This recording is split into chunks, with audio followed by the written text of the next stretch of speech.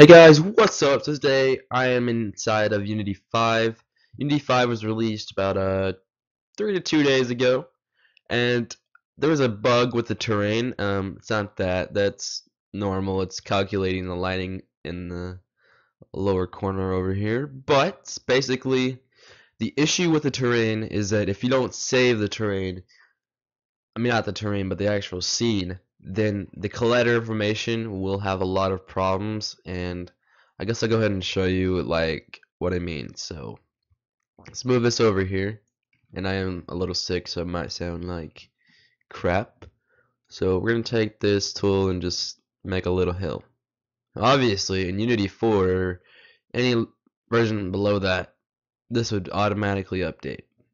But now when you go into the game and you walk into new geometry that you created and you didn't save the scene, well, it's just not gonna work. I mean, as you can see, it's using some other collider information. It's trying to, but that was already there. So, to fix this, all you really have to do is save the scene every single time you update it. And then it should work. So, save scene, play. Now, now it's updated. Now, there is some instances in which um, it will not work. I'm not, that actually hasn't happened to me yet, but it could happen.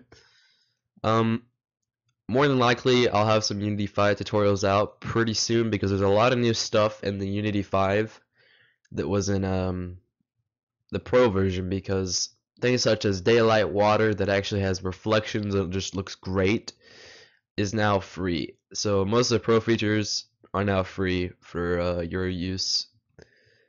But um, that's pretty much it for this short little video that's just showing this little bug here and how to fix it because I'm sure if you download in Unity 5 and you try to make a terrain uh, you encounter the same problem. So that's it for this video. See you later.